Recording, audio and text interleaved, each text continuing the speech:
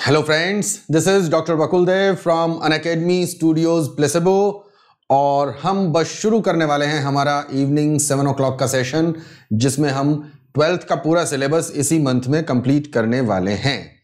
तो आज जो हमारा पहला यूनिट चल रहा था इनफैक्ट सेकंड यूनिट चल रहा था रिप्रोडक्शन इन ऑर्गेनिज्म के बाद ह्यूमन रिप्रोडक्टिव सिस्टम उसमें रिप्रोडक्टिव सिस्टम और फिर एम्ब्रियोनिक डेवलपमेंट हमने कल पढ़ लिया था। अब कुछ चीज़ें और उसमें बच गई हैं, जैसे पार्चुरेशन प्लेसेंटा प्लेसेंटा के टाइप्स व्हाट आर ट्विंस कौन कौन से जर्म लेयर से कौन कौन से ऑर्गन स्ट्रक्चर बनते हैं। तो ये बड़े इंपॉर्टेंट छोटे छोटे टॉपिक्स हैं जिनसे यूजुअली क्वेश्चंस पूछे जाते हैं एग्ज़ाम में। तो आज हम इन सब चीज़ों को डिस्कस करने वाले हैं इसी सेशन में। तो stay tuned we are just going to start this session in a while और उससे पहले आप ये टीम पीछे देख लीजिए, इसे कहते हैं टीम प्लेसेबो जो कि इस वक्त नीट और एम्स दोनों के लिए सबसे अच्छी अवेलेबल टीम है। Studio Placebo is your one stop solution for NEET as well as AIIMS हम छह लोग यहाँ डेली 12 आवर्स के लाइव सेशन लेते हैं मॉर्निंग टू नाइट और इन लाइव सेशंस में हम आपको फिजिक्स केमिस्ट्री बॉटनी जुलॉजी इनके सारे चैप्टर्स सारे टॉपिक्स कॉम्प्रहेंसिवली कवर करवा रहे हैं। तो मैं एक बार के लिए आपको टीम मेंबर्स जो प्लेसेबो टीम में फैकल्टीज हैं, जो एजुकेटर्स हैं, और कौन कौन से वक्त पर उनके सेशन लाइव चला करते हैं, ये मैं आपको जल्दी से बता देता हूँ। आप देखें, अमित सर आपको बॉटनी पढ़ा रहे हैं शाम पाँच बजे और रात ग्यारह बजे। दीपक सर केमिस्ट्री पढ़ा रहे हैं दोपहर दो बजे और रात नौ बजे। आनंद सर आपको जोलॉजी पढ़ाते हैं सुबह दस बजे और रात दस बजे। मैं आपको जोलॉजी पढ़ा रहा हूँ दोपहर तीन बजे, जहाँ हम इलेवेंथ का टॉपिक कंटिन्यूएशन में चल रहा है एनिमल किंगडम और शाम सात बजे, जहाँ हम ट्वेल्थ के टॉपिक्स डिस्कस कर रहे हैं। रितु मैम आपको बायोलॉजी पढ़ा रही हैं शाम चार बजे और शाम छः बजे। रोहित सर आपको फिजिक्स पढ़ा रहे हैं दोपहर बारह बजे और रात आठ बजे। तो इस टीम के साथ जुड़े रहिए, इस टीम के साथ एसोसिएटेड रहिए और नीट और एम्स का प्रिपरेशन आपका ऑटोमेटिकली होता जाएगा और बहुत अच्छी रैंक से आप सेलेक्ट हो पाएँगे। ठीक है? आगे चलें। एम्ब्रियोलॉजी हमारा सेशन चल रहा है। माई सेल्फ डॉक्टर बकुल देव मैं जयपुर से हूँ और पंद्रह सालों से मेडिकल एस्पिरेंट्स को मैं पढ़ा रहा हूँ बच्चों, जिसमें लगभग लगभग बारह हज़ार बच्चों को मैंने पढ़ाया है। उनमें से ढाई हज़ार से ज़्यादा बच्चे सेलेक्ट हुए हैं अलग अलग मेडिकल एंट्रेंस एग्ज़ाम्स में अलग अलग कॉलेजेस में। बहुत बार ऐसा हुआ है, जब मेरे स्टूडेंट्स ने सिंगल डिजिट रैंक भी अचीव की है और छः बार ऐसा भी हुआ है, जब नेशनल लेवल पर फ़र्स्ट रैंक मेरे स्टूडेंट्स लेकर के आए। ये सब चीज़ें ऑफलाइन प्लेटफॉर्म पर जब मैं पढ़ाया करता था, तब की थी। अब मैं ऑनलाइन प्लेटफॉर्म पर हूँ अन अकेडमी स्टूडियोज प्लेसेबो के थ्रू आप सब लोगों से कनेक्ट कर रहा हूँ और मुझे उम्मीद है कि इस बार भी मेरे स्टूडेंट्स सिंगल डिजिट रैंक लेकर के आएँगे, बहुत अच्छी रैंक अचीव करेंगे नीट में भी और एम्स में भी। आप बस जुड़े रहिए चैनल से, अपने कॉन्सेप्ट क्लियर करते रहिए, अपना सिलेबस कवर कीजिए पूरा। जो भी डाउट्स हो, उनको कमेंट बॉक्स में लिखें, हम रियल टाइम में उनको सॉल्व करने की कोशिश भी करेंगे। Okay Unacademy plus studio Placebo पर तो आप आते ही हैं, रोज आते हैं। एक और प्लेटफॉर्म है अन अकेडमी प्लस अब आप उस पर भी आ जाइए और जितना जल्दी हो सके, उतना जल्दी आ जाइए। क्योंकि उसके एडवांटेजेस भी, उसका नाम भी है अन अकेडमी प्लस और उसके एडवांटेजेस भी प्लस स्टूडियो प्लेसेबो के साथ। ये सब चीज़ें तो वहाँ पर हैं ही। प्लस एडवांटेज क्या है, ये आप देख लें जरा। वीकली हम वहाँ क्विज ऑर्गेनाइज कर रहे हैं लाइव क्विज होता है, सारे बच्चे उसे देते हैं, उसके रिज़ल्ट अनाउंस होते हैं, सब चीज़ें वहाँ पर उसी तरीके से चलती हैं जैसा रियल टेस्ट का एटमॉस्फियर हो। उसके बाद यूनिट कंप्लीशन पर हम एक मेगा क्विज या कहें कि टेस्ट ऑर्गेनाइज करते हैं, जिसमें कि उस पर्टिकुलर यूनिट के सारे के सारे क्वेश्चन आते हैं, वो लगभग एक घंटे का क्विज होता है या टेस्ट होता है। डेडिकेटेड डाउट रिमूवल सेशन हर चौथी क्लास हम डेडिकेट करते हैं बच्चों के डाउट क्लियर करने के लिए। पूरे सब्जेक्ट में से कहीं भी किसी भी तरीके के डाउट हो, हम पर्सनलाइज्ड मैनर में उनको सॉल्व करने की कोशिश करते हैं। लाइव क्लासेस तो आप जानते ही हैं मोर देन थर्टी आवर्स की डेली लाइव क्लासेस यहाँ पर चल रही हैं और जितने एजुकेटर्स वहाँ पर पढ़ा रहे हैं, उन सारे एजुकेटर्स की लाइव क्लासेस को आप रेडिली एक्सेस कर सकते हैं with a single subscription personalised learning इसका सीधा सा मतलब यह है कि जिस वक्त आप फ्री हैं, जिस वक्त आप पढ़ना चाह रहे हैं, आप ठीक उस वक्त पढ़ सकते हैं। रिकॉर्डेड लेक्चर देख सकते हैं। नोट्स जो क्लासरूम नोट्स हैं, उनको पीडीएफ फॉर्मेट में डाउनलोड कर सकते हैं। टेस्ट दे सकते हैं। डीपीपीज वहाँ पर अवेलेबल हैं। कहने का मतलब यह है कि बहुत सारे ऐसे एडेड फीचर्स हैं, जिनका पता आपको प्लस पर आने के बाद ही चलेगा। तो अन प्लस पर आइए, जल्दी से। प्लेसेबो पर तो आप हैं ही। प्लस पर भी आइए, वहाँ आपको और भी अच्छा महसूस होगा और आपकी प्रिपरेशन जो हो रही है, वो और कई गुना आपके कॉन्फिडेंस का लेवल कुछ ही वक्त में बढ़ जाएगा। So do subscribe Unacademy plus जो दो नए कोर्सेज हमने लॉन्च किए अभी देखो, ये डाइवर्सिफाइड कोर्सेज हैं अलग अलग टीम्स के अलग अलग एजुकेटर्स के, ये प्लस पर चलते रहते हैं प्री मेडिकल के लिए नीट और एम्स के लिए। लेकिन स्पेसिफिकली जो दो कोर्स अभी लॉन्च हुए हैं उनमें से एक कोर्स लॉन्च हुआ है बच्चों असेंड फॉर क्लास ट्वेल्थ इसको हमारी टीम जो पढ़ा रही है मैं आपको जोलॉजी पढ़ा रहा हूँ रोहित मालव सर फिजिक्स पढ़ा रहे हैं आशुतोष गौरव सर वहाँ केमिस्ट्री पढ़ा रहे हैं और अमित दीक्षित सर आपको बॉटनी पढ़ा रहे हैं ठीक है? तो इसमें ट्वेल्थ का पूरा कोर्स हम कॉम्प्रहेंसिवली कवर कर रहे हैं। और जो एक कोर्स इंडिविजुअली uh, मैं ले रहा हूँ वहाँ that is complete course on zoology for droppers इसमें इलेवंथ और ट्वेल्थ के दोनों के जितने जोलॉजी के चैप्टर्स हैं मतलब 50 परसेंट बायोलॉजी वो मैं कॉम्प्रहेंसिवली कवर करवाने वाला हूँ अप टू दिसंबर हम पूरी डिटेलिंग के साथ में नीट और एम्स के लिए जितना एलेबोरेशन रिक्वायर्ड है, जितना प्रिसीजन रिक्वायर्ड है, जितना वेरिफिकेशन रिक्वायर्ड है, वो सारा का सारा नोट्स में आपको प्रोवाइड कर रहे हैं। और ये बात भी आप याद रखें कि जो कंटेंट आपको अन अकेडमी के प्लेटफॉर्म पर मिल रहा है, उसके बाद आपको और कुछ भी चीज़ पढ़ने की ज़रूरत नहीं है। That is more than enough okay तो बच्चों सब्सक्राइब करने का तरीका भी मैं आपको बता देता हूँ। ये जो वीडियो आप देख रहे हैं, इसी के नीचे आपको एक लिंक मिलेगा।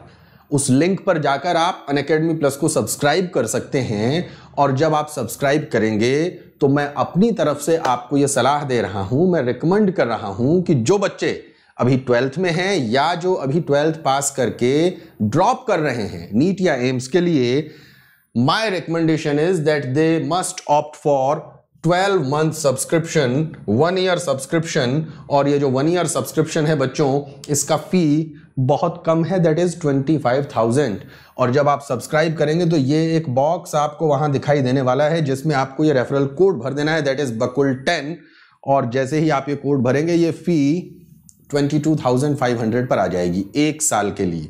That is less than two thousand rupees per month nothing nothing against the content which you are going to get देखिए thirty plus hours of live session thirty five plus top educators Hindi English में classes notes quizzes DPPs everything is available तो देर मत कीजिए, जल्दी से subscribe कर लीजिए।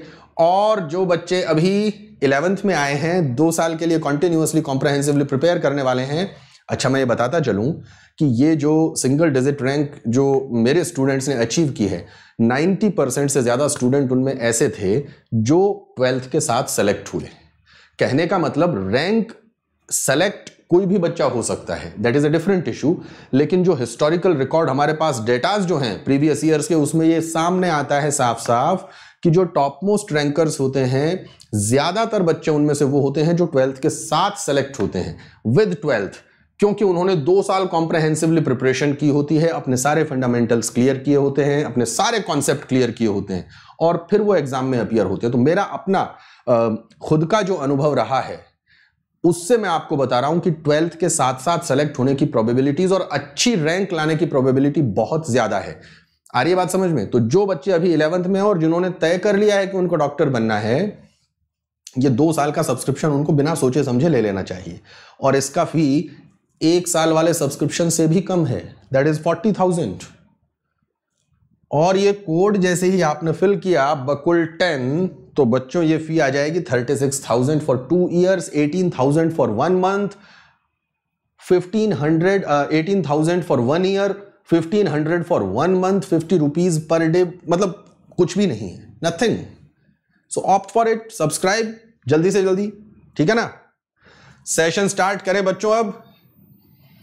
चलो जी आप सब लोग तो जानते ही हैं कि जब हम सेशन स्टार्ट करते हैं तो कुछ देर के लिए हम वो सारे टॉपिक हेडिंग्स कीवर्ड्स एक बार देख लेते हैं, जो हमने अपने पुराने वाले सेशंस में कवर किए होते हैं। आज हमारा ये नाइन्थ सेशन है ट्वेल्थ के सिलेबस का। तो पुराने एट सेशंस में ये ये चीज़ें हम पढ़ चुके हैं। जिन बच्चों ने पुराने सेशन नहीं देखे हैं, वो रिकॉर्डेड लेक्चर्स देख सकते हैं। अन अकेडमी प्लेसेबो पर जाकर के टाइटल आप टाइप करेंगे, नाम मेरा क्लिक करेंगे, वो वीडियो ओपन हो जाएगा। तो उसको देख लीजिए, आपके कॉन्सेप्ट क्लियर हो जाएँगे। Reproduction in organism reproductive system male reproductive system female menstrual cycle, disorders, gametogenesis, fertilization, implantation, और कल ही हमने पढ़ा है human embryonic development up to the last stage जिसमें क्लीवेज ब्लास्टुलेशन गैस्ट्रुलेशन और फिर उसके बाद की सारी स्टेजेस हमने पढ़ी थी। ठीक है? तो यहाँ तक की सारी चीज़ें बच्चों हम पढ़ चुके हैं और अब मैं जो रेगुलर स्टूडेंट है, वो जानते हैं कि अब एक छोटा सा क्विज हम ऑर्गेनाइज करते हैं, लेकिन मैं जरा देख लूँ एक बार कि बच्चे कौन कौन आ गए हैं क्लास में। जो प्रेजेंट है, उनको देख लूँ एक बार, है ना? शांतनु, काजल ओझा, मिनाती, विजय, अर्पित भारद्वाज, प्रियंका बाला सुब्रमण्यन सुभाष चंद्र, युधिष्ठिर गौतम, अंशु सिंह, प्रोमिला संजीव कुमार, बलवंत कुमार। बलवंत, आप शायद आज पहली बार आए, मैंने आपका नाम पहली बार पढ़ा है। आशु, तन्वी, नितेश जाधव यश चौधरी, धीरज प्रजापति, शिवानी मिश्रा और भी बहुत सारे बच्चे मुझे दिखाई दे रहे हैं। प्रीति तोमर, निखिल श्रीवास्तव, रवि रंजन, शहबाज खान, सुनंदा, हमीद, हिमांशी सेठ।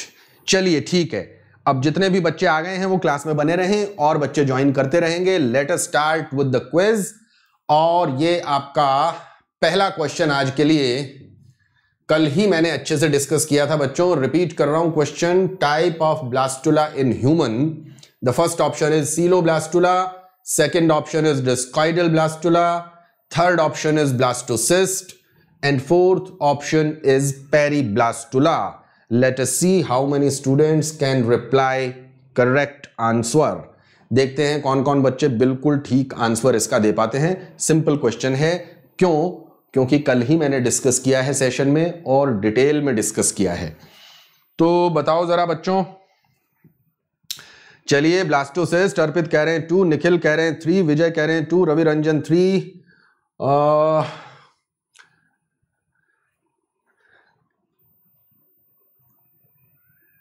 ज़्यादातर बच्चों के आंसर ठीक है, लेकिन ये टू कौन आंसर कर रहे हैं?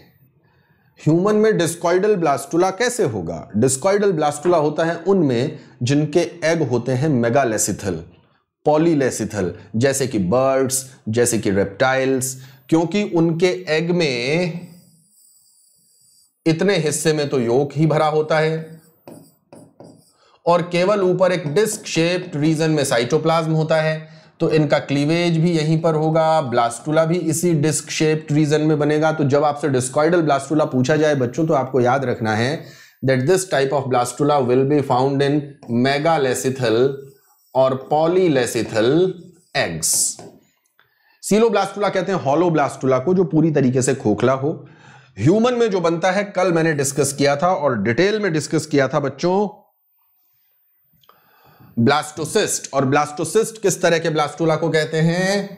जब ब्लास्टूला के कुछ सेल तो पेरीफेरी पर आ जाएँ, जिनको हम कह दें ट्रोफोब्लास्ट, और ब्लास्टूला के बाकी सेल किसी एक एंड पर जाकर इकट्ठा हो जाएँ, जिनको हम कहें एम्ब्रियोब्लास्ट। और ये जो कैविटी है, इसे हम कहें ब्लास्टोसील। तो ह्यूमन में इसी तरह का ब्लास्टोला मिलता है। This is the first question the answer is blastocyst. चलिए अगले क्वेश्चन पर चलें। क्लियर है मेरे ख्याल से सबको? चलो जी, ये भी सिंपल सा क्वेश्चन है। जल्दी से बता दो। Implantation occurs on which day after fertilization fourth second seventh और टेंथ कल मैंने पूरा डायग्रामेटिकली रिप्रेजेंट करते हुए एक एक दिन का जो सीक्वेंस था, वो डिस्कस किया था आपसे। और अब आप जल्दी से इसका आंसर दे दीजिए। Implantation occurs on which day after fertilization fourth second seventh इस बार मेरे ख्याल से किसी भी बच्चे का आंसर गलत नहीं आएगा।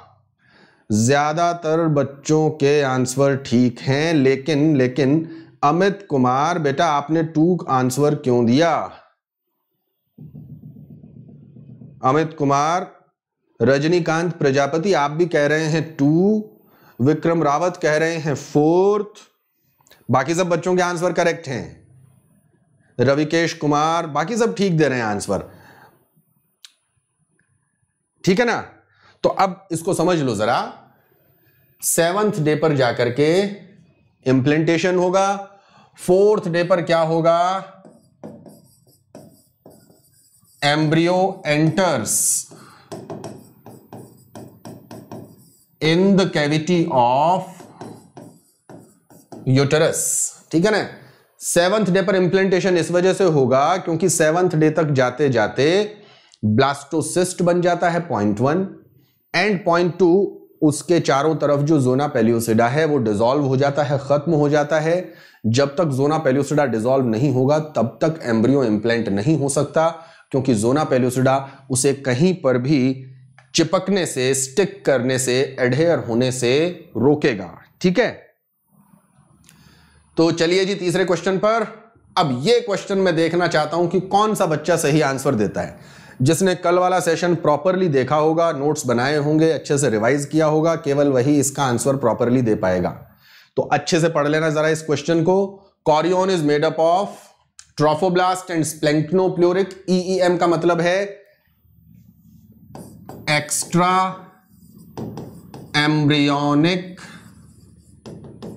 mesoderm that is the meaning of EEM तो अब जरा बताइए जल्दी से।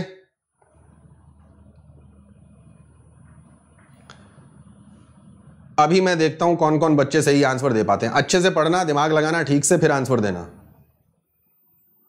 शांतनु सिंह कह रहे हैं थ्री निखिल कह रहे हैं टू मनमीत सिंह कह रहे हैं थ्री अभी तक मेरे पास केवल एक सही आंसर आया है बच्चों सिंगल करेक्ट आंसर अब दो, तीन, ठीक है? हिमांशी सेठ कह रही है today is my first day कोई बात नहीं। आज आपका फ़र्स्ट डे है, आज आप स्टार्ट कीजिए और कभी भी आप शुरुआत करें, वो कभी भी लेट नहीं होती, क्योंकि आज से आपने स्टार्ट कर दिया है। अब आप बिल्कुल पेस में आ जाइए, कुछ पुराना जो छूटा है आपका, उसको एक बार कवर कर लीजिए डाउट्स पूछ लीजिए। ठीक है you are at par with other students तो वर्षा चंद्रवासिनी कह रही है हाय सर हेलो बेटा, आप आज शायद पहली बार आए हो। चलो मैं आंसर बता देता हूँ आपको। The answer is trophoblast and somatopleuric extra embryonic mesoderm आपको याद हो तो कल मैंने एक ऐसा स्ट्रक्चर बनाया था, जिसमें नीचे हाइपोब्लास्ट था, ऊपर एपीब्लास्ट था, ये एमनियोटिक कैविटी था, ये योग सैक था, एक ये एक्स्ट्रा एम्ब्रियोनिक सीलोम बना था। इनके बीच में यहाँ पर मीजोडर्म भरा हुआ था that is EM extra embryonic mesoderm तो कॉरियोन इन दोनों से मिलकर के बना था। That was chorion. तो कॉरियोन में एक तो ये सेल आ गए दैट इज़ ट्रोफोब्लास्ट और ये जो मीजोडर्म है बाहर की तरफ़ वाला, इसका नाम है सोमेटोप्लोरिक एक्स्ट्रा एम्ब्रियोनिक मीजोडर्म पूछा गया ये क्वेश्चन कई बार, आपको आंसर आना चाहिए। चलो जी, अगले क्वेश्चन पर चलें। हम्म। Presence of amnion is not stress करें इस पर। Not a characteristic feature of option are Naja naja Pavo Balaenoptera Alytes इसका आंसर भी आप तब दे पाएँगे जब आपको इन चारों के बारे में पता है कि भाई ये हैं कौन। कौन से ग्रुप से बिलोंग करते हैं। तो सोच समझ के आंसर दीजिएगा। आंसर गलत नहीं आना चाहिए क्योंकि ये क्वेश्चन सिंपल है। बहुत बार मैंने क्लास में डिस्कस किया है what is the meaning of amniota किया है कि नहीं? तो चलो अब बताओ, जल्दी से बताओ।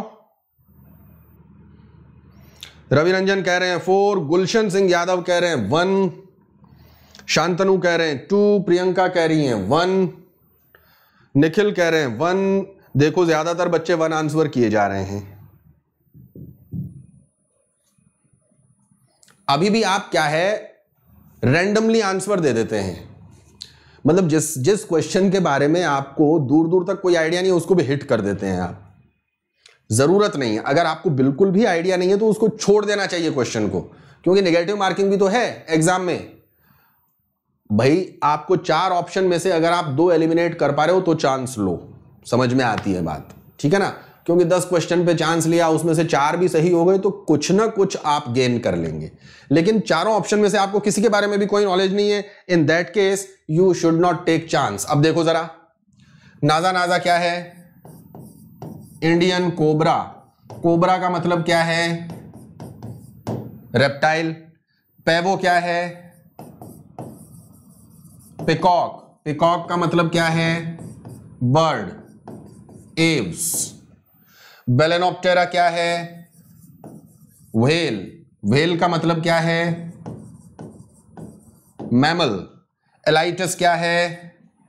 मिड वाइफ टोड, यानी कि एम्फीबियन। अब इनमें से एमनियन किसमें नहीं मिलेगा? जिनमें डेवलपमेंट बॉडी से बाहर हो रहा है, पॉइंट वन। और जो टेरेस्ट्रियल हैं पॉइंट टू उनमें सब में एमनियन होगा। इसमें डेवलपमेंट हो रहा है बॉडी से बाहर, लेकिन वाटर में एमनियन बनता क्यों है भाई?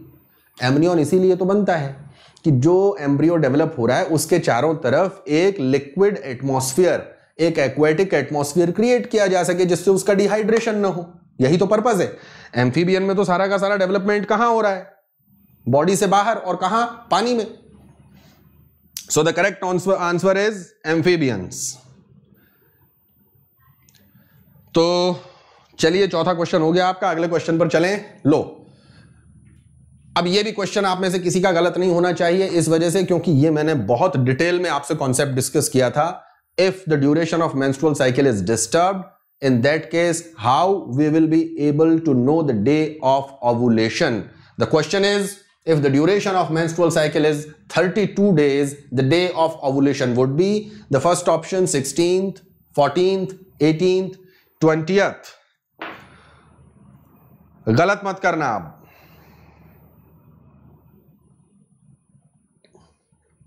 चलो बताओ जरा अर्पित कह रहे हैं थ्री गुलशन कह रहे हैं three Priyanka three Naitik three ठीक है ठीक है। ज़्यादातर बच्चों के सही आ रहे हैं। हिमांशी बेटा आपका ठीक नहीं रिप्लाई सेकंड दिया है आपने दैट इज़ नॉट अच्छा किसी ने कहा है फोर्टीन वर्षा फोर्टींथ डे पर नहीं होगा। मिनाती कह रही है टू रविकेश कह रहे हैं वन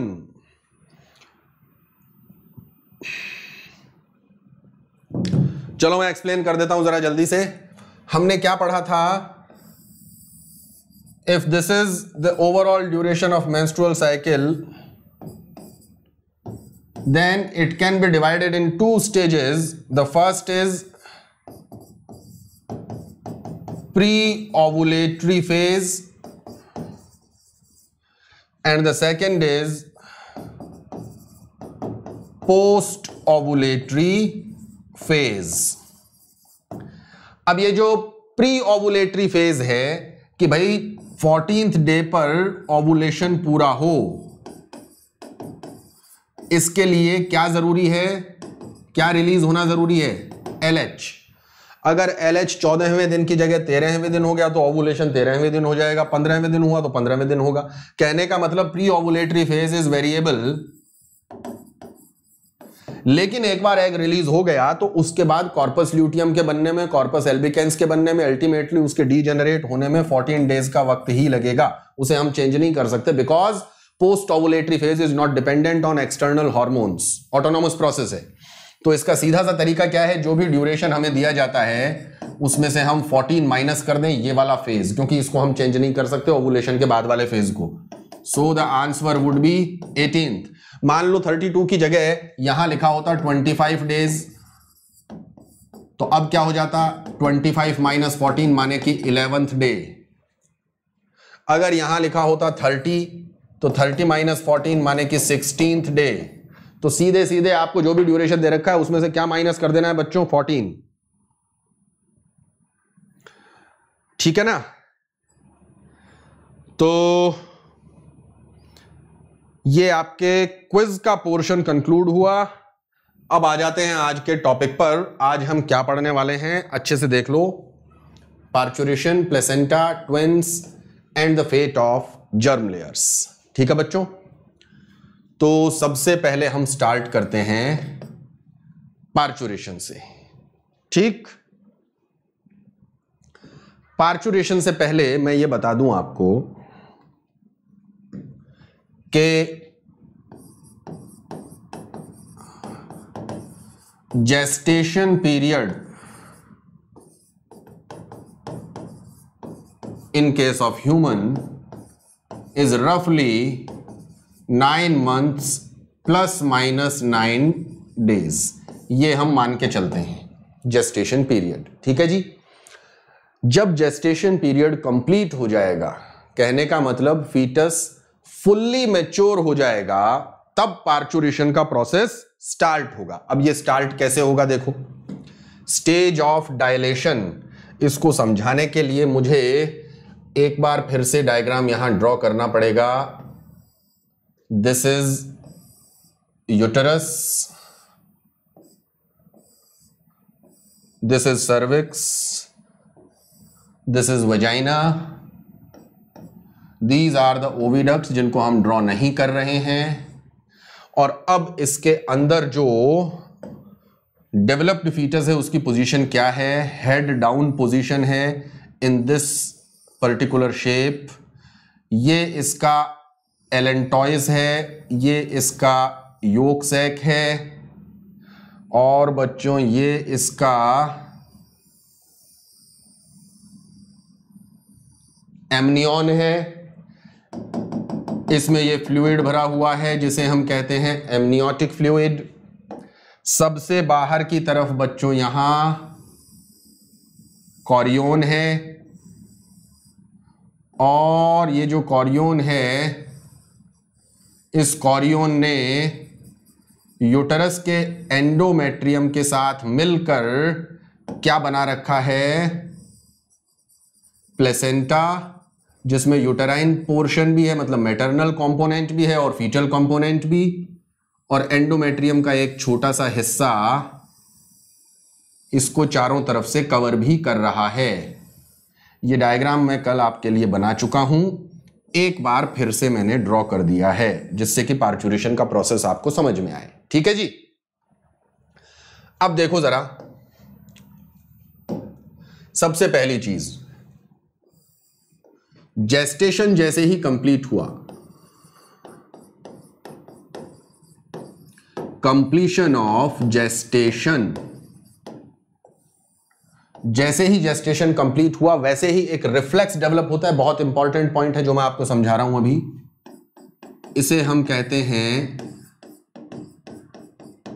फीटल इजेक्शन रिफ्लेक्स अब क्वेश्चन क्या पूछा जाता है? और हमें कंफ्यूजन कहाँ होता है? आप लोग पढ़ते हैं oxytocin as a birth hormone ठीक है जी?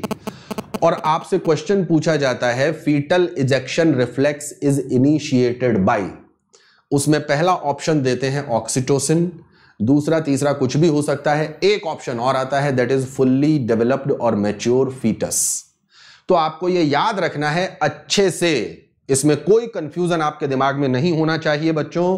कि fetal ejection reflex is initiated by fully developed fetus. तो ये जो फीटस कंप्लीटली डेवलप हो गया है, ये इस रिफ्लेक्स को इनिशिएट करेगा। बहुत इंपॉर्टेंट क्वेश्चन है, पहली चीज़। अब होगा क्या, जब ये इस रिफ्लेक्स को इनिशिएट करेगा। कौन? फुल्ली डेवलप्ड फीटस तो इस रिफ्लेक्स को इनिशिएट करते ही मैं यहाँ लिख दूँ फीटल इजेक्शन रिफ्लेक्स इस रिफ्लेक्स की वजह से यूटरस के मायोमेट्रियम में माइल्ड कॉन्ट्रेक्शन स्टार्ट हुए। ठीक है? हल्के हल्के कॉन्ट्रेक्शन यूटरस की मायोमेट्रियम में स्टार्ट हुए। इन कॉन्ट्रेक्शंस की वजह से बच्चों सिग्नल कहाँ गया? पोस्टीरियर पिट्यूटरी और अब पोस्टीरियर पिट्यूटरी से क्या रिलीज़ हुआ? ऑक्सीटोसिन और ऑक्सीटोसिन फिर कहाँ आएगा यूटरस के मायोमेट्रियम पर? और फिर से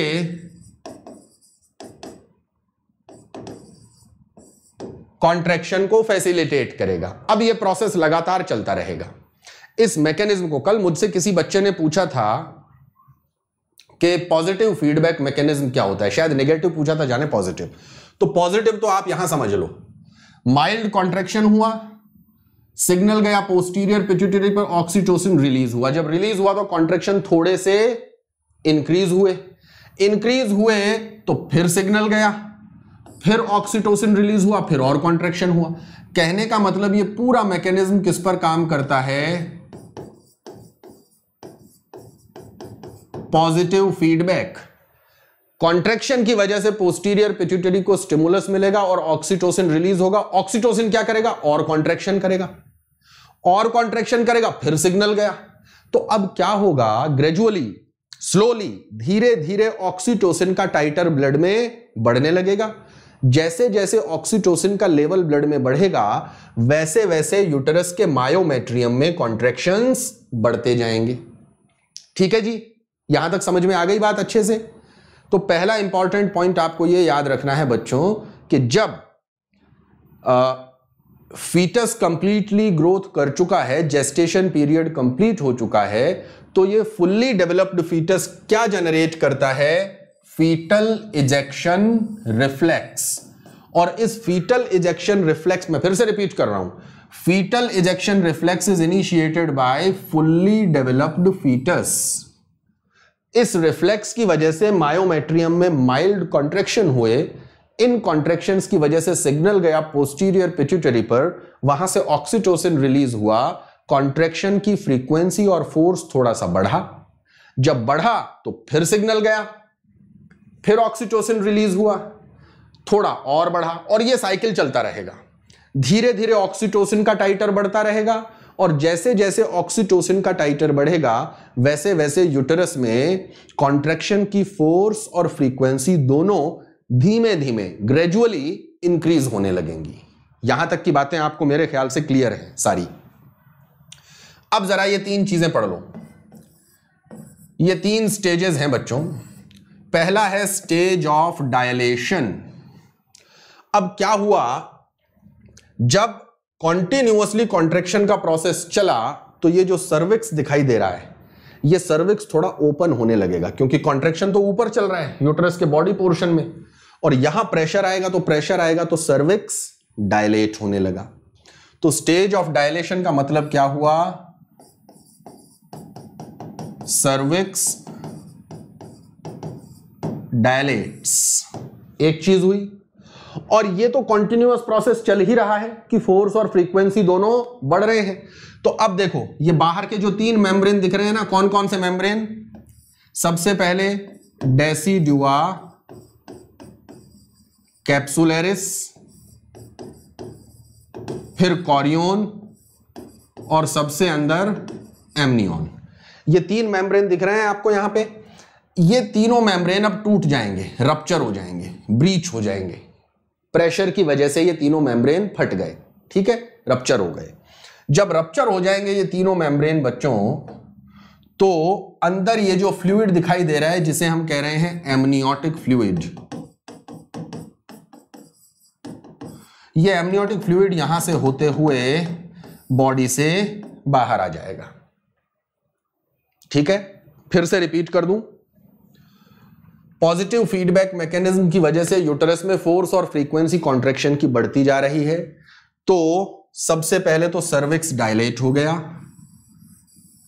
सर्विक्स डायलेट होने के बाद एक्स्ट्रा एम्ब्रियोनिक मेम्ब्रेन्स रप्चर हुए। एक्स्ट्रा एम्ब्रियोनिक मेम्ब्रेन रप्चर होने के बाद एमनियोटिक फ्लूइड बाहर आ गया और ये तीनों काम जिस फ़ेज़ में हुए, उसे हमने क्या कहा? स्टेज ऑफ़ डायलेशन ठीक है साहब? पहला स्टेज क्लियर है सबको? सर्विक्स डायलेट हो गया है एमनियोटिक फ्लूइड बाहर निकल गया है। लेकिन जब यह प्रोसेस हुआ बच्चों, उस वक्त भी ऑक्सीटोसिन तो रिलीज़ हो ही रहा था। तो ऑक्सीटोसिन रिलीज़ हो रहा था तो फोर्स और फ्रीक्वेंसी लगातार कॉन्ट्रेक्शन की बढ़ती जा रही थी। जब फोर्स और फ्रीक्वेंसी लगातार बढ़ती जा रही थी तो अब दूसरा स्टेज आया हमारे पास, जिसे हम कहते हैं स्टेज ऑफ़ एक्सपल्शन। तो स्टेज ऑफ़ एक्सपल्शन में क्या होगा? अब ये जो फीटस दिख रहा है, fetus comes out. Continuously increase force और फ्रीक्वेंसी कॉन्ट्रेक्शन की वजह से, जिनको सिंपल लैंग्वेज में हम क्या कह देते हैं? Labour pains. जो यूटरस में कंटिन्यूअसली फोर्स और फ्रीक्वेंसी बढ़ रही है कॉन्ट्रेक्शन की, इनको सिंपल लैंग्वेज में हम कहते हैं लेबर पेन्स। तो लेबर पेन्स जैसे जैसे बढ़ेंगे फोर्स फ्रीक्वेंसी जैसे जैसे बढ़ेगी वैसे वैसे फीटस बाहर आएगा। अब बाहर कहाँ से आएगा? ये पूरा ट्रैक्ट क्या कहला रहा है? बर्थ कैनाल मैंने अपने प्रीवियस लेक्चर में या उससे पहले वाले लेक्चर में डिस्कस किया था कि body cervix and vagina collectively they form birth canal तो फीटस यहाँ से होकर के बाहर आ गया। ठीक है? और फीटस के बाहर आने के बाद ये स्ट्रक्चर जो है, ये अभी तक अंदर से कनेक्टेड है। यहाँ से। जिसे हम कह रहे हैं बच्चों अम्बलिकल कॉर्ड तो जैसे ही ये बाहर आएगा, इस प्रोसेस को हमने क्या कह दिया? बर्थ या सिंपल लैंग्वेज में कहें डिलीवरी। बर्थ के तुरंत बाद अम्बलिकल कॉर्ड को हमने काट दिया। Umbilical cord is cut umbilical cord को जैसे ही काटा जाएगा, इसका पल्मोनरी जो ब्लड सर्कुलेशन है, वो स्टार्ट हो जाएगा। बच्चा जो है, वो सांस लेने लगेगा ब्रीद करने लगेगा, पहली बार एयर इनहेल करेगा। आ रही है कि नहीं बात समझ में? तो ब्रीदिंग का प्रोसेस स्टार्ट हो गया और ब्रीदिंग का प्रोसेस स्टार्ट होते ही लंग्स में ब्लड जाना शुरू हो गया। उससे पहले लंग्स में ब्लड नहीं जा रहा था क्योंकि ऑक्सीजन कहाँ से मिल रहा था? इसको वाया प्लेसेंटा ठीक है? तो इस प्रोसेस को हमने कह दिया बर्थ या सिंपल लैंग्वेज में कहें डिलीवरी आ गई बात समझ में? अब finally stage of after birth अब बर्थ का प्रोसेस हो गया, लेकिन ये अम्बलिकल कॉर्ड और अंदर ये प्लेसेंटा ये अभी बने हुए हैं। तो आफ्टर बर्थ के फ़ेज़ में क्या होगा? ये प्लेसेंटा यहाँ से टूटेगा और प्लेसेंटा टूट करके बॉडी से बाहर आएगा।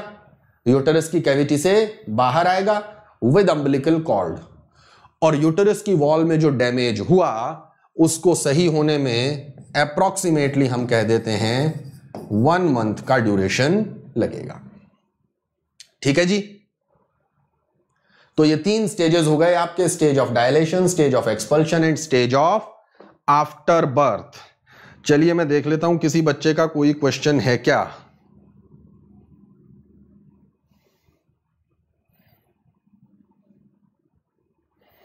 हम्म हम्म। चलो ठीक है, अभी मेरे पास कोई ऐसा क्वेश्चन आया नहीं है। जैसे ही आएगा मैं रिप्लाई करूँगा, फिर से देखूँगा उसे। तो ये प्रोसेस हो गया आपका पार्चुरेशन का। फिर से रिपीट कर देता हूँ एक बार जल्दी से। Parturition is reflex activity initiated by fetal ejection reflex और फीटल इजेक्शन रिफ्लेक्स किस वजह से शुरू हुआ? Because of fully developed fetus fully developed fetus ने रिफ्लेक्स जनरेट किया, जिससे मायोमेट्रियम में माइल्ड कॉन्ट्रेक्शन हुए। मायोमेट्रियम के माइल्ड कॉन्ट्रेक्शन की वजह से पॉजिटिव फीडबैक का एक मैकेनिज्म स्टार्ट हुआ। ग्रेजुअली ऑक्सीजन का टाइटर ब्लड में बढ़ता गया। Force and frequency of contraction बढ़ते गए। फिर पहला स्टेज आया, स्टेज ऑफ़ डायलेशन। जब ऊपर से प्रेशर ज़्यादा आया तो नीचे से सर्विक्स डायलेट होने लगा, ओपन होने लगा और तीनों extra embryonic membrane with decidua capsularis rupture हो गए। एमनियोटिक फ्लूइड बाहर आ गया। लेबर पेन्स कॉन्टिन्यूसली बढ़ते रहे तो अब जो फीटस है बर्थ कैनाल से होकर के बाहर आ गया। इस प्रोसेस को हमने कह दिया डिलीवरी या बर्थ ठीक है जी? बर्थ के तुरंत बाद अम्बलिकल कॉर्ड को काट दिया जाता है।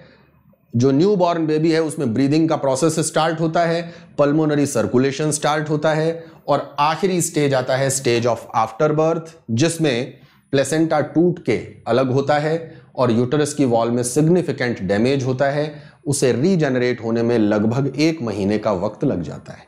This entire process is known as parturition और ऑक्सीटोसिन ने इसमें सिग्निफिकेंट कंट्रीब्यूशन दिया। इस वजह से ऑक्सीटोसिन को और क्या कहते हैं? बर्थ हार्मोन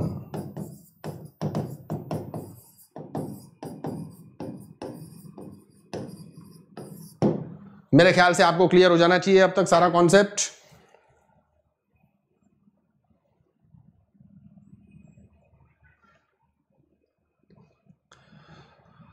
ठीक है ना? निखिल श्रीवास्तव ने एक टर्म लिखा है लैक्टेशनल एमिनोरिया मंडे को जो लेक्चर हम लेंगे रिप्रोडक्टिव हेल्थ का लेक्चर होगा वो, उसमें मैं आपसे लैक्टेशनल एमिनोरिया डिस्कस करूँगा. It is a natural method of contraception ठीक है जी? सो दैट इज़ कंप्लीट अब आ जाइए अगले इंपॉर्टेंट टॉपिक पर बच्चों दैट इज़ प्लेसेंटा अब प्लेसेंटा बेसिकली क्या है? हमने जो डायग्राम बनाया था, इस डायग्राम में हमने क्या चीज़ें ड्रॉ की थी?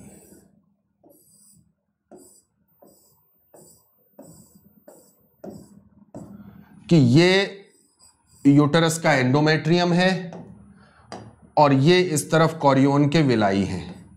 यानी कि फीटल कंपोनेंट भी है मैटरनल कंपोनेंट भी है, और ये दोनों मिलकर क्या बनाते हैं?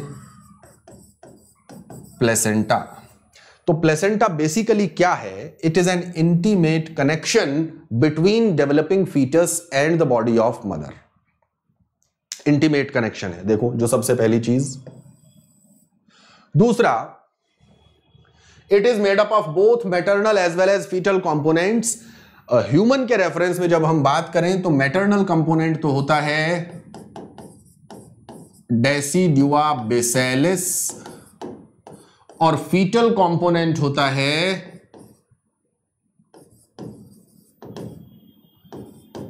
कॉरियोनिक विलाई ये दो कंपोनेंट हैं जिनसे मिलकर के प्लेसेंटा बना है। बेसिकली प्लेसेंटा क्या है? It is an exchange surface कहने का मतलब फीटस को जो भी न्यूट्रिएंट्स चाहिए, जो भी ऑक्सीजन चाहिए, वो प्लेसेंटा को क्रॉस करेगा और फिर फीटस की बॉडी में एंटर करेगा। यानी all these substances will be supplied to fetus via body of mother और उसमें एक्सचेंज सरफेस प्लेसेंटा है। On the other hand fetus की बॉडी में जो इंप्योरिटीज बनेंगे कार्बन डाइऑक्साइड या बाकी सब जो चीज़ें हैं, ये प्लेसेंटा को ही क्रॉस करके मदर की बॉडी में आएँगे। So basically what is placenta it is an exchange surface but interestingly during the pregnancy placenta also act as a temporary endocrine structure और प्लेसेंटा से जो हार्मोन रिलीज़ होते हैं, वो बहुत बहुत इंपॉर्टेंट हैं, जो कि आपको अच्छे से पता होने चाहिए। इन सभी हॉर्मोन्स के नाम मैंने वहाँ पर लिखे हैं और उनके सिग्निफिकेंस और इंपॉर्टेंस भी मैं आपको बताए देता हूँ। देखो, पहला हार्मोन हमने क्या लिखा है बच्चों? वेरी फ़र्स्ट हार्मोन हमने लिखा है एच सी जी इसका मतलब है ह्यूमन कॉरियोनिक गोनेडोट्रोपिन इसके बारे में आपको दो चीज़ें याद रखनी है एच के बारे में। सबसे पहली चीज़ जो याद रखना है वो ये कि इसका काम क्या है? Maintenance of corpus luteum corpus luteum को मेंटेन करना ज़रूरी क्यों है? कंसेप्शन के बाद, क्योंकि corpus luteum is the source of progesterone and what is progesterone progesterone is pregnancy maintaining hormone तो अब कॉर्पस ल्यूटियम को डीजेनरेट होने से बचाना है। अगर कॉर्पस ल्यूटियम डीजेनरेट हो गया it will lead to abortion ठीक है जी? तो सबसे पहले रिलीज़ होगा एचसीजी जो कि कॉर्पस ल्यूटियम को डीजेनरेट होने से रोकेगा। और यही काम कौन से हार्मोन का था? ल्यूटिनाइजिंग हार्मोन का। तो ये क्वेश्चन बहुत बार बहुत बार रिपीट हुआ है that H C G mimics the action of the answer would be luteinising hormone. HCG का एक्शन वही है जो कि ल्यूटिनाइजिंग हार्मोन का एक्शन था। बहुत इंपॉर्टेंट क्वेश्चन है, अच्छे से याद कर लेना इसको। ठीक है? दूसरी चीज़ जैसे ही प्लेसेंटा बनेगा, कल हमने पढ़ा था ब्लास्टोसिस्ट इंप्लेंट हुआ इंप्लेंट होते ही प्लेसेंटा बना तो प्लेसेंटा से जो हार्मोन सबसे पहले बना वो एचसीजी था।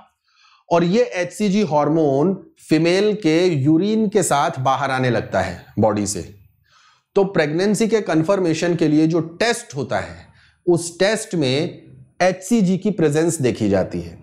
क्योंकि अगर यूरिन में एचसीजी आ गया ह्यूमन कॉरियोनिक गोनेडोट्रोपिन इसका मतलब है प्लेसेंटा बन चुका है। क्योंकि इसका सोर्स केवल प्लेसेंटा है। और प्लेसेंटा तब बनेगा जब इंप्लेंटेशन हो गया है। It means the pregnancy is confirmed तो प्रेगनेंसी के कंफर्मेटरी टेस्ट में इस हार्मोन का इंपॉर्टेंट कंट्रीब्यूशन है रोल है सिग्निफिकेंस है। ठीक है?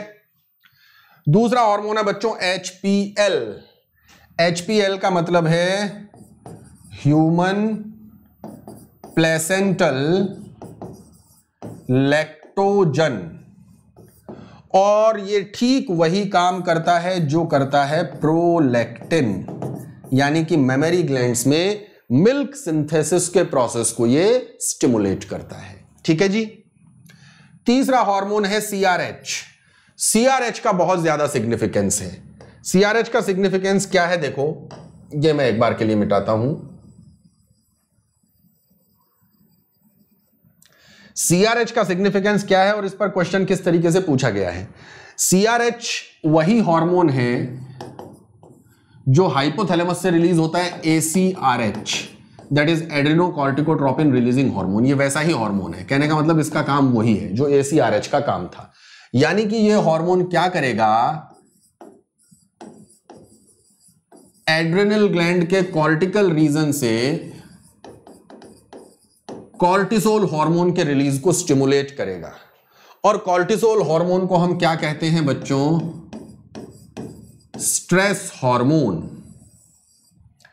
तो प्रार्चुरेशन का जो प्रोसेस है that is extremely stressful condition उस वक्त सीआरएच का लेवल अचानक से बॉडी में बढ़ जाता है। ठीक है? तो यह क्वेश्चन कम से कम तीन चार बार रिपीट हुआ है और क्या किस लैंग्वेज में रिपीट हुआ है? The hormone which is responsible to determine the timing of birth कि बर्थ की टाइमिंग को कौन सा हार्मोन रेगुलेट करता है? आंसर इज़ सीआरएच क्योंकि जब ब्लड में सीआरएच का टाइटर बढ़ेगा, जब ब्लड में सीआरएच का लेवल बढ़ेगा, इसका मतलब क्या हुआ? It is extremely stressful condition it means labour pains are at their peak तो अब बर्थ का प्रोसेस कंप्लीट होने को है। आ गई बात समझ में? रिपीट कर रहा हूँ फिर से। C R H is the hormone which is responsible to determine timing I repeat timing of the birth oxytocin timing को डिटरमाइन नहीं करता। तो इसको अच्छे से अपने दिमाग में क्लियर कर लेना। I am repeating it again C R H is the hormone which is release from placenta point one point two it mimics the action of a C R H release from hypothalamus. And point three this hormone is primarily responsible to determine timing of the birth जब CRH का level blood में अचानक बढ़ जाएगा, इसका मतलब parturition का process complete होने वाला है। ठीक है जी? तो ये तीन हार्मोन हो गए H C G H P L C R H फिर एक हार्मोन है प्रोजेस्टिरॉन एक हार्मोन है रिलैक्सिन पहले रिलैक्सिन के बारे में बता देता हूँ, क्योंकि प्रोजेस्टिरॉन का सिग्निफिकेंस दूसरा है। रिलैक्सिन का काम है बॉडी के लिगामेंट्स को ज्वाइंट्स को रिलैक्स करना। आ गई बात समझ में? तो जब लिगामेंट्स जैसे कि प्यूबिक सिम्फाइसिस है it is a joint between hip bones तो हिप बोन का जॉइंट जब रिलैक्स होगा तो पेल्विक कैविटी का ट्रांसवर्स डायमीटर थोड़ा सा बढ़ जाएगा। इससे क्या होगा? Process of birth will become easier point समझ में आ गया आपको? पार्चुरेशन का प्रोसेस इजी हो जाएगा अगर पेल्विक कैविटी का ट्रांसवर्स डायमीटर इंक्रीज हो गया। इसी वजह से कई बार ऐसा होता है, ये एक सिंपल सा आपको एग्ज़ाम्पल दे रहा हूँ। During the course of pregnancy the foot size of the ladies increases पैर का नाप बढ़ जाता है। थोड़ा सा। क्यों बढ़ जाता है? क्योंकि जैसे ये हमारा पाम है हथेली, वैसे ही पैर में यहाँ तो क्या है?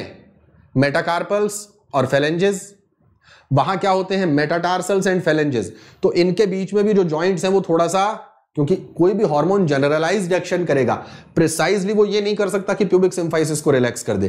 तो जहाँ जहाँ ज्वाइंट्स होंगे, जहाँ जहाँ लिगामेंट्स होंगे, उनको वो रिलैक्स करने की कोशिश करेगा। तो इस वजह से स्लाइटली फुट साइज़ इंक्रीज हो जाता है। ये क्वेश्चन भी आपसे अप्लाइड लेवल पे पूछा जा सकता है कि why foot size slightly increases during pregnancy the answer would be because of secretion of relaxin from placenta अब आते हैं बच्चों, आखिरी हार्मोन पर प्रोजेस्टिरॉन और इस प्रोजेस्टेरॉन हार्मोन का मैं आपको अप्लाइड सिग्निफिकेंस समझाता हूँ। I need a blank slide for this अच्छे से सुनना इसको, क्योंकि यह बड़ा इंपॉर्टेंट क्वेश्चन मैं आपसे डिस्कस करने जा रहा हूँ, जो कम से कम दस बार पूछा गया है एग्ज़ाम में। देखो प्रोजेस्टेरॉन का प्राइमरी सोर्स क्या है? कहाँ से रिलीज़ होता है? Corpus luteum. तो मैं यहाँ आपके लिए एक बार फिर से इस स्ट्रक्चर को ड्रॉ कर रहा हूँ, क्योंकि ये ओवेरी है, ये ओविडक्ट है ओवुलेशन हो गया, यहाँ बना हुआ है बच्चों कॉर्पस ल्यूटियम और न केवल ये बना हुआ है, बल्कि इंप्लेंटेशन का प्रोसेस भी हो चुका है। ठीक है एम्ब्रियो डेवलप हो रहा है इसमें, और यहाँ बन चुका है बच्चों प्लेसेंटा दिस इज़ प्लेसेंटा अब मैंने क्या कहा आपसे? कि corpus luteum is the primary source of progesterone लेकिन प्रोजेस्टिरॉन प्लेसेंटा से भी रिलीज़ होता है। प्लेसेंटा से कब रिलीज़ होता है? प्राइमरीली अगर हम जेस्टेशन को तीन ट्राइमेस्टर में डिवाइड कर लें first second and third trimester का मतलब तीन महीने का ड्यूरेशन तो फ़र्स्ट ट्राइमेस्टर में जो प्रोजेस्टिरॉन का सोर्स है दैट इज़ कॉर्पस ल्यूटियम और सेकंड और थर्ड ट्राइमेस्टर में प्रोजेस्टिरॉन का सोर्स कौन है? प्लेसेंटा तो अब यहाँ से एक बड़ा इंपॉर्टेंट क्वेश्चन डेवलप होता है, इसको अच्छे से सुन लेना। पहले ट्राइमेस्टर में प्रोजेस्टिरोन का सोर्स कौन है? कॉर्पस ल्यूटियम माने कि ये, माने कि ओवेरी से रिलीज़ हो रहा है। आप तो ये मान के चलें। और फ़र्स्ट ट्राइमेस्टर अगर कंप्लीट हो गया तो उसके बाद ये कॉर्पस ल्यूटियम लगभग लगभग इनेक्टिव हो जाता है और फिर प्रोजेस्टेरोन का सोर्स केवल क्या होता है? प्लेसेंटा अब क्वेश्चन क्या पूछा जाता है? क्वेश्चन ये पूछा जाता है कि प्रेगनेंसी का पीरियड स्टार्ट हो गया और प्रेगनेंसी का पीरियड स्टार्ट होने के फ़र्स्ट ट्राइमेस्टर में क्वेश्चन ध्यान से सुनिएगा फ़र्स्ट ट्राइमेस्टर में ओवेरी एक्टोमी परफॉर्म कर दी गई। यानी कि ओवेरी को रिमूव कर दिया। सर्जिकली ओवेरी को जब सर्जिकली रिमूव कर देंगे, कब? फ़र्स्ट ट्राइमेस्टर में। तो फ़र्स्ट ट्राइमेस्टर में तो प्रोजेस्टेरोन का सोर्स केवल कौन था? कॉर्पस ल्यूटियम माने कि ओवेरी और ओवेरी को ही हमने हटा दिया। तो अब मतलब प्रोजेस्टेरोन लेवल अचानक से डाउन आ जाएगा। That will lead to abortion लेकिन अगर ओवेरी को हमने सेकंड या थर्ड ट्राइमेस्टर में हटाया तो अब कोई फ़र्क नहीं पड़ेगा, क्योंकि सेकंड और थर्ड ट्राइमेस्टर में प्रोजेस्टेरॉन कहाँ से आना स्टार्ट हो गया है? सिग्निफिकेंट क्वांटिटी में प्लेसेंटा से। तो जो इंपॉर्टेंट क्वेश्चन बना बच्चों, वो क्या बना? If during pregnancy ovaries are removed surgically in the first trimester it will lead to abortion. Because ovaries contains corpus luteum, and corpus luteum is the primary source of progesterone. If ovaries are removed in second or third trimester of pregnancy, there will be no effect because now the primary source of progesterone is not corpus luteum, it is placenta. तो इस question को आपको अच्छे से याद रखना है। ये आपके हो गए हॉर्मोन्स रिपीट कर दूँ H C G H P L C R H progesterone relaxin progesterone का कॉन्सेप्ट आपको समझ में आ गया। सी आर एच का कॉन्सेप्ट याद रखना है। It is responsible for determining timing of the birth ठीक है जी? चलिए आगे चलते हैं। अब ह्यूमन में प्लेसेंटा का टाइप यह भी बहुत बार क्वेश्चन पूछा गया है तो इसको भी अच्छे से समझ लेना। ह्यूमन में प्लेसेंटा के टाइप के लिए हम तीन चार टर्म यूज़ करते हैं। पहला टर्म क्या यूज़ करते हैं?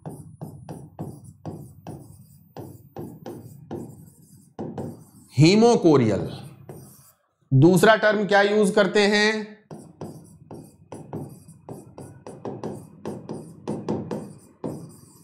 मेटाडिस्कॉइडल। तीसरा टर्म क्या यूज़ करते हैं? कॉरियोनिक। और चौथा टर्म क्या यूज़ करते हैं? डेसीड्यूअस। ये चारों याद कर लो। ह्यूमन का प्लेसेंटा होता है हीमोकोरियल, मेटाडिस्कॉइडल, कॉरियोनिक, डेसीड्यूअस। अब क्यों होता है? इनका मीनिंग क्या है? ये भी समझ लो। हीमोकोरियल। अगर मैं बात करूँ प्लेसेंटा की तो प्लेसेंटा में दो कंपोनेंट है बच्चों, एक तो मैटरनल कंपोनेंट और दूसरा फीटल कंपोनेंट, ठीक है? तो मैं पहले फीटल कंपोनेंट ड्रॉ कर रहा हूँ। ये फीटल कंपोनेंट है आपका कि ये कॉरियोनिक विलाई है एज्यूम करो।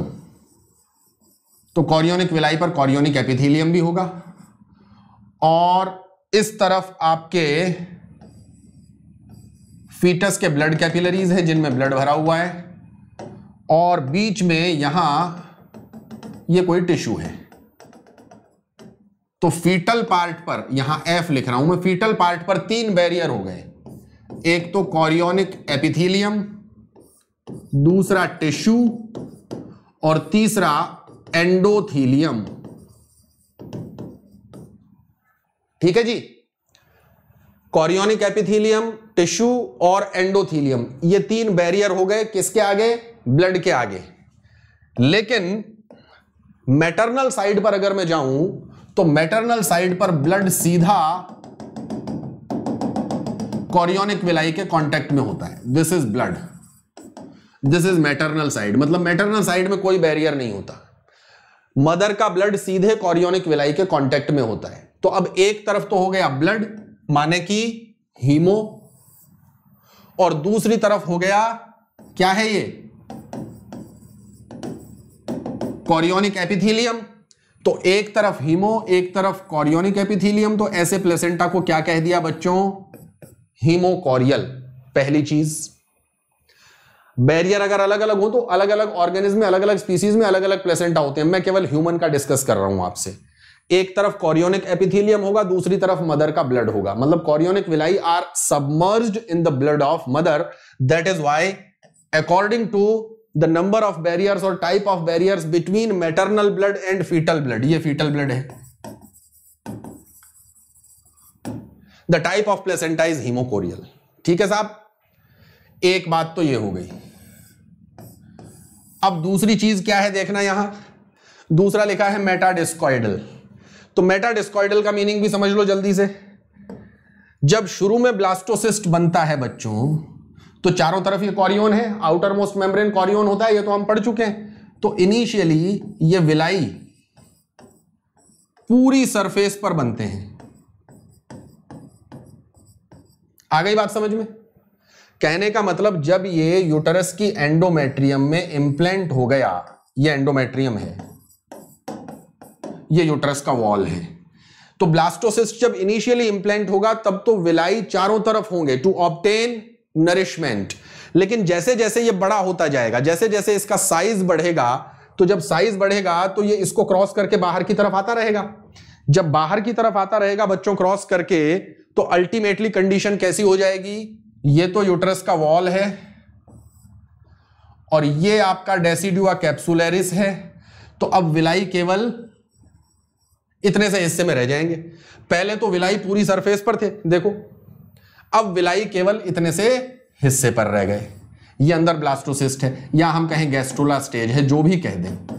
इधर इट इज़ गैस्ट्रोला स्टेज और blastula but the villi are located only in the disc shape zone after development जब इसका साइज़ छोटा था वॉल में पूरा धंसा हुआ था तो विलाई चारों तरफ़ थे डिफ्यूज थे। बाद में विलाई केवल एक जगह कॉन्सेंट्रेट हो गए। तो ऐसे प्लेसेंटा को हम कहते हैं मेटाडिस्कॉइडल प्लेसेंटा जिसके विलाई इनिशियली तो पूरी सरफेस पर हो, लेकिन बाद में एक छोटे से जोन पर स्मॉल जोन पर आ जाए। ठीक? तीसरा कॉरियोनिक कॉरियोनिक का मतलब यह हुआ कि कौन कौन से एक्स्ट्रा एम्ब्रियोनिक मेम्ब्रेन पार्टिसिपेट कर रहे हैं विलाई बनाने में। तो इसको भी जल्दी से देख लो। ये आपका फीटस है, ये इसका योग सैक है, ये इसका एलेंटॉइस है, और ये इसका एमनियन है। और सबसे बाहर की तरफ़ क्या है बच्चों? कॉरियोन तो ह्यूमन प्लेसेंटा में केवल कॉरियोन पार्टिसिपेट करता है इन चारों मेम्ब्रेन में से। ये एमनियन है, ये आपका योग है, ये एलेंटॉइस है और ये कॉरियोन है। लेकिन विलाई केवल किसने बनाए? कॉरियोन ने। कुछ में कॉरियोन और एमनियन दोनों बनाते हैं, कुछ में कॉरियोन सॉरी कॉरियोन और एलेंटॉइस दोनों बनाते हैं, कुछ में कॉरियोन और योगसैक मिलकर के बनाते हैं। तो अकॉर्डिंगली ह्यूमन का प्लेसेंटा कैसा हो गया? कॉरियोनिक कॉरियोनिक किस बेस पर कहा? On the basis of participation of extra embryonic membrane while forming the villi ठीक है? प्लेसेंटा में विलाई कौन बनाएगा? और आखिरी चीज़ है डेसीड्यूअस डेसीड्यूअस क्यों कहा? डेसीड्यूअस इसलिए कहा कि आफ्टर बर्थ स्टेज जो हमने पढ़ा बच्चों, उस आफ्टर बर्थ स्टेज में हमने क्या पढ़ा? कि भाई फीटस तो बाहर आ गया। ये तो बाहर आ गया फीटस लेकिन ये क्या बचा रह गया?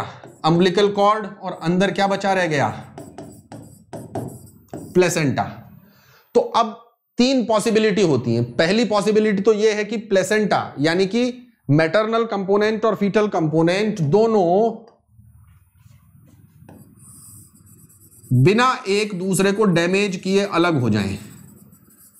मतलब ये ग्रीन वाला हिस्सा जो है, ये ब्लैक वाले हिस्से से स्प्लिट होकर के बाहर आ जाए। तो ये नीचे वाले हिस्से का नाम क्या था? डेसीड्यूआ बेसेलिस। तो जब प्लेसेंटा टूट के बाहर आएगा, केवल फीटल कंपोनेंट टूट के बाहर आएगा तो उसमें डेसीड्यूआ नहीं होगा।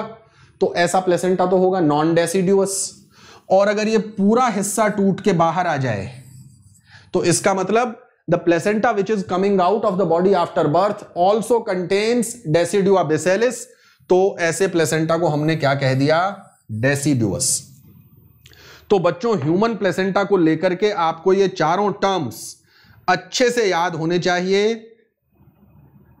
बिल्कुल ठीक है, प्रियंका बाला सुब्रमण्य लिख रही है, basic of structure, nature of uterine wall, basis of distribution of villi. ठीक है, बिल्कुल करेक्ट। तो अब आपको मेरे ख्याल से ये सारी चीज़ें समझ में आ गई होंगी, जो हमने आज डिस्कस की हैं। ठीक है, ह्यूमन प्लेसेंटा के लिए चारों टर्म आपको अच्छे से याद रखने human placenta is haemochorial it is metadiscoidal it is chorionic and it is deciduous और हॉर्मोन्स के बारे में सीआरएच प्लेसेंटा से जो सीआरएच रिलीज़ होता है determines timing of the birth progesterone का बहुत इंपॉर्टेंट सिग्निफिकेंस हमने पढ़ लिया कि अगर फ़र्स्ट ट्राइमेस्टर में ओवेरी को रिमूव करेंगे it will lead to abortion because corpus luteum is the primary source of progesterone in the first trimester second और थर्ड ट्राइमेस्टर में ओवेरी को हटा देंगे तो कोई फ़र्क नहीं पड़ेगा। ये दूसरा इंपॉर्टेंट क्वेश्चन हुआ। फिर आपके टाइप ऑफ़ प्लेसेंटा हो गए। ठीक है ना? ट्विंस वाला सेक्शन फिर से बच गया। We are running out of time अभी क्या करें? हम्म? चलो ट्विंस जल्दी से बता देता हूँ आपको। दो मिनट में ट्विंस वाला सेक्शन और डिस्कस कर लेता हूँ। देखो डाइजाइगोटिक ट्विंस मोनोजाइगोटिक ट्विंस दो तरह के ट्विंस होते हैं। अब हम ये मान के चलते हैं कि ये ओवेरी है। इस ओवेरी से एक एग रिलीज़ हुआ। और दूसरी कंडीशन है कि ओवरी में दो फॉलिकल एक साथ मैच्योर हो गए ग्रेफियन फॉलिकल और कितने एग रिलीज़ हो गए? टू एग्स मैं एग का मतलब हो गया सेकेंडरी ओसाइट यहाँ क्या रिलीज़ हुआ? वन एग अब ये वन एग आ गया आपका फेलोपियन ट्यूब में, और इधर टू एग्स आ गए आपके फेलोपियन ट्यूब में. ठीक है जी? ये दो एग आए और इन दोनों एग्स का सेपरेट फर्टिलाइजेशन हुआ। सेपरेट फर्टिलाइजेशन हुआ तो बच्चों, हमारे पास जाइगोट कितने बन गए? दो। इधर क्या हुआ? ये एग आया, ये स्पर्म जाइगोट कितना बना? एक। और यहाँ जाइगोट कितने बन गए? दो। अगर ये दोनों जाइगोट जाकर के इंप्लांट हो जाएँ अलग अलग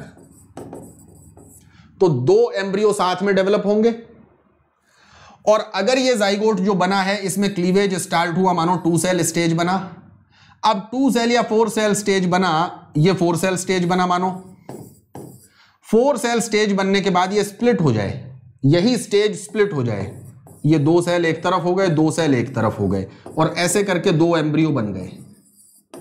तो ये दो एम्ब्रियो सिंगल जाइगोट से फॉर्म हुए हैं, एक ही जाइगोट से। और यहाँ जो दो एम्ब्रियो बनेंगे, वो दो अलग अलग Z1 और Z2 से बनेंगे। तो ये E1 और E2 हो गए।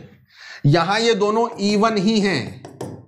मतलब एम्ब्रियो तो दो हैं, लेकिन बने केवल एक से ही हैं Z1 से ही। आ गई बात समझ में? तो जब सिंगल जाइगोट से दो एम्ब्रियो डेवलप होंगे तो ऐसे एम्ब्रियो जेनेटिकली आइडेंटिकल होंगे, उनको हम कहेंगे मोनोजाइगोटिक या आइडेंटिकल ट्विंस यानी एक ही जाइगोट से बने। और जहाँ दो अलग अलग जाइगोट से बनेंगे तो इनको हम कहेंगे डाइजाइगोटिक ट्विंस अब बच्चों, डाइजाइगोटिक ट्विंस जो हैं, उनके सेक्सेस अलग भी हो सकते हैं, क्योंकि इन दोनों में क्रोमोजोमल कॉम्बिनेशन अलग अलग हो सकता है। किसी में एक्स एक्स हो सकता है, किसी हो सकता है दोनों फीमेल हो हो सकता है दोनों मेल हो हो सकता है एक मेल हो, एक फीमेल हो। सारी पॉसिबिलिटीज हैं। ये जेनेटिकली डिफरेंट होंगे और ये जेनेटिकली आइडेंटिकल होंगे। ठीक है? तो आइडेंटिकल ट्विंस यानी मोनोजाइगोटिक ट्विंस और फ्रेटर्नल ट्विंस यानी डाइजाइगोटिक ट्विंस माने दो अलग अलग जाइगोट से बनेंगे। ठीक है जी? आखिरी चीज़ और देख लो सियामेज ट्विंस कई बार क्या होता है, जब ये स्प्लिटिंग होती है, यहाँ जो आपको स्प्लिटिंग दिखाई दे रही है ना ये ये वाली स्प्लिटिंग ये वाली स्प्लिटिंग कई बार कंप्लीट नहीं हो पाती। तो ये जो दो एम्ब्रियो बनते हैं, एक एम्ब्रियो इधर बना और एक एम्ब्रियो मान लो इधर बना तो ये एम्ब्रियो किसी पोर्शन से कनेक्टेड रह जाते हैं। तो बर्थ के बाद भी ऐसे ट्विंस की बॉडी का कुछ हिस्सा आपस में जुड़ा रह जाता है। जैसे कंधे जुड़े रह गए या हेड जुड़ा रह गया या थोरेसिक पोर्शन जुड़ा रह गया या पीठ जुड़ी रह गई बॉडी के कोई भी दो हिस्से पार्शियली आपस में कनेक्टेड रह जाते हैं। तो ऐसे आइडेंटिकल ट्विंस जो फिजिकली एक दूसरे से कनेक्टेड रह जाएँ बर्थ के बाद, उनको हम क्या कहते हैं? सियामेज ट्विंस तो आज का लेक्चर बच्चों, अब कंक्लूड करने का वक्त आ गया है। आपको सारी चीज़ें समझ में आ गई होंगी, ये जर्म लेयर वाला कल देख लेंगे अपन वापस से। Already we are we already have exceeded ten minutes लगभग दस मिनट हम आगे चले गए हमारे प्रेस्क्राइब सेशन से, आपका और भी दूसरा लाइव सेशन चल रहा होगा। तो अब ज़्यादा टाइम आपका नहीं लेते, जिससे आप दूसरा लाइव क्लास अटेंड कर सको। मेरे ख्याल से रोहित मालव सर का क्लास चल रहा होगा अभी इस वक्त फिजिक्स का। तो हम कंक्लूड करते हैं इसको। जाने से पहले hit the bell icon like subscribe and share like के बटन को आते ही प्रेस कर दिया करो, तुरंत प्रभाव से शेयर कर दिया करो, आते ही सब्सक्राइब इसको आपको रखना ही है, बेल आपको प्रेस करना है, क्योंकि नोटिफिकेशन आपके पास कॉन्टिन्यूसली आते रहे और इसको तेज़ी से चारों तरफ़ स्प्रेड कर दो, ठीक है? हमें आपसे जो सहयोग चाहिए, जो हेल्प चाहिए, वो बस यही है कि आप इसको स्प्रेड करते रहें। आप अपने कॉन्सेप्ट्स क्लियर करते रहें नीट और एम्स का प्रिपरेशन करते रहें, हमारे साथ में आप कंफर्म हो जाइए, आप मान के चलिए कि आप बहुत अच्छी रैंक के साथ नीट और एम्स में सेलेक्ट होंगे प्रोवाइडेड द फैक्ट कि जो जो गाइडलाइंस यहाँ से आपको दी जा रही हैं, उनको आपने प्रॉपरली फॉलो किया। तो मैं अब के लिए आपसे विदा लेता हूँ। कल मिलता हूँ ठीक तीन बजे। कल का मतलब हो गया मंडे मंडे को मिलता हूँ ठीक तीन बजे और तीन बजे हम क्या पढ़ रहे होंगे? एस के हेलमेंथीज एनेलिडा उससे पहले प्लस के प्लेटफॉर्म पर ठीक 20 मिनट के बाद मैं आपको मिलूँगा, जहाँ हम लोग डिस्कस कर रहे हैं इलेवंथ का syllabus comprehensively see you all good night goodbye